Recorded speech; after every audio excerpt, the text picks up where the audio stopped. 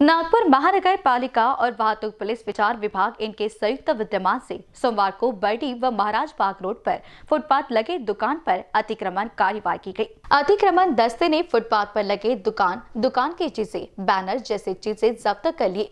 वाहतुक विभाग का कहना है कि फुटपाथ ये लोगों के चलने के लिए होता है, मगर दुकानदार मनपा ने दो जगहों पर दुकान न लगाते हुए फुटपाथ पर लगाते हैं। लोगों को रोड पर चलने के लिए सरलता हो, इसलिए ये कार्रवाई की गई है और आगे भी की जाएगी। एक जनरल संकल्प में है कि जो रोड होता है और जो फुटपाथ होता है, वो पादचारी के लिए होता है। जो पैदल चलते लोग, उनके लिए होता है। और अक्सर अपन ने देखा है नागपुर सिटी में कि लोगों ने फुटपाथ पे, रास्ते पे अतिक्रमण करते हुए हाकर्स, हाथ टेले पान टेले और जो भी कोई चिल्लर बिक्री का सामान रखते हैं, उसके कारण लोगों को चलने को रोड मिलता नहीं। और इसी कारण अपघात के प्रमाण बढ़ रहे हैं।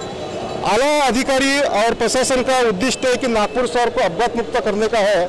इसके तहत माननीय पुलिस आयुक्त, माननीय आयुक्त एनएमसी और हमारे ट्रैफ़िक विभाग के उपायुक्त माननीय चिन्मय पंडित सर, इनके आदेश से पूरे शहर में कार्रवाई चालू है।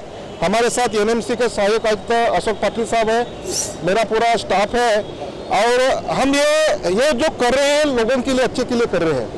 हमको ये फुटपाथ पे जो कार्रवाई हो रही है, ना हमको दुकानदारों के प्रति कुछ करना है। अगर वो खुद ही भाई खुद उग जाते हैं, बाजू में जहाँ उनको जगह दी है एनएमसी ने कुछ जगह इनके लिए अलॉट किया है। उस जगह पे और जो लिमिट दिया है, for example Bardi main road है, वहाँ माननीय हाईकोर्ट के डायरेक्शन के मुताबिक रेड बेल्ट और येलो बेल्ट के लिए धंधा करने को उनको जगह दिया है। आप सभी ने आज देखा है कि अपन ने वो जो उसका पालन हुआ तो कितना बड़ा रोड लोगों को चलने के लिए व्हीकल्स को जाने को मिलता है। बहुत बड़ा रोड है ये।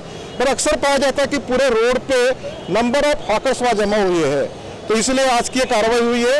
ये आज की कार्रवाई एक हमारा सिंबल है। ये कार्रवाई लगातार चालू रहेंगी।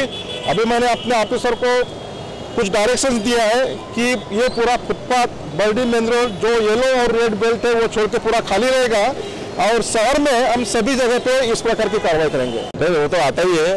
लेकिन हम बार बार कार्रवाई करेंगे। जब तक वो हटेंगे नहीं तब तक हम कार्रवाई करते रहेंगे। अभी तो जो कार्रवाई हुई कल से सात दुकान में कार्रवाई हुई है।